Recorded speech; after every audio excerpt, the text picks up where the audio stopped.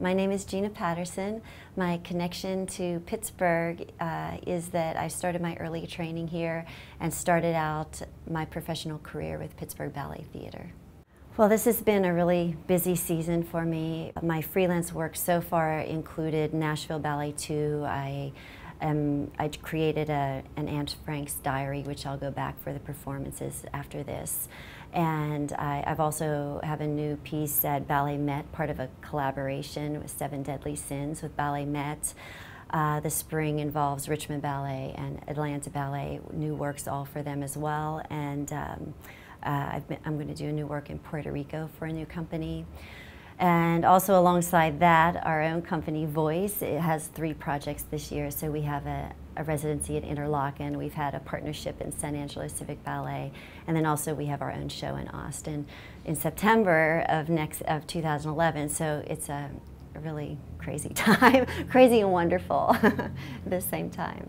I was really thrilled when Susan Stowe, the chair of the dance department, invited me to be a part of Pittsburgh Connections. After 20 plus years, 23 years or so of being away, it's an opportunity uh, for me to come back after having a full and rich dance career and share what I know um, to the next generation and to, um, and to do this piece that I'm going to do, Found Songs. There's a lot of different layers to the piece, and it is an abstract work, so I really want the audience to get what they get out of it and to have their own story.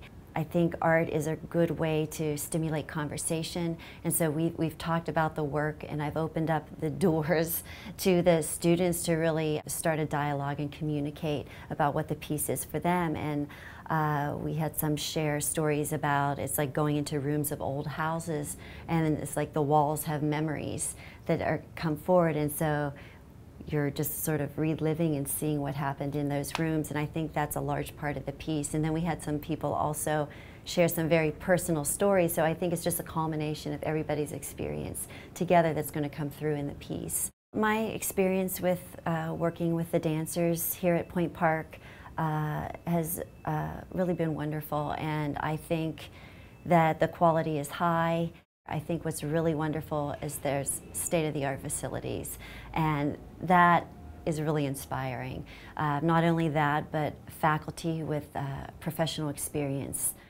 I think it's really important to have real life knowledge, and, and I feel like the faculty here is just sort of a wealth of information.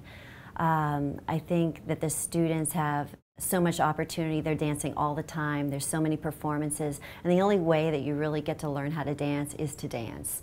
And so I think they also have opportunity to choreograph and music and composition, all this kind of thing. So I think uh, just the, the broad range that Point Park has to offer is just wonderful.